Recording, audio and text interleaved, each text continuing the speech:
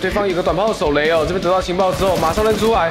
那可惜，我一个跳射，火拳跳射先带走对手之后，再开启了一个准心。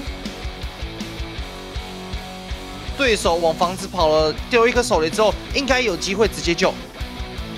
丢手雷进去，准备来先清，这应该是小。Oh my god！这手雷太准了吧！直接把对方给炸掉了。其实这边不用急，等老师来。哎，老师，哇！你不是知道嘉欣在那边吗？完全忘记了。突然间场上被打成了一个二打二的局面，而且有烟雾，嘉兴这边可以瞬间往前推进。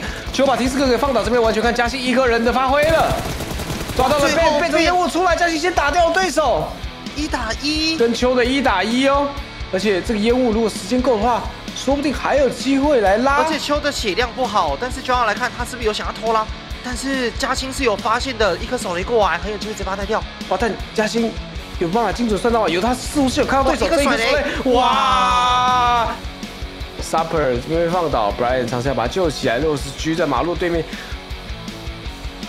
一颗手雷过来，有机会吗？他是往哪边丢？啊！但对方侧面刷出来，这波腰射掌握度并不是很好，Brian 马上拉到了掩体后方，准备再来打一次。哦，算是打了很稳。两个人同时出击，哇！六十狙。什么？要运用着闪光弹，要往前推。呃，这边的话，L I T 很难扛。嗯，正面高点来看看第一波的对决，Coco 先放倒了第一个，再一个加薪，车子撸过去，Coco 两边互相交换火拳，用雷炸掉了小七。啊？该不会 L I T？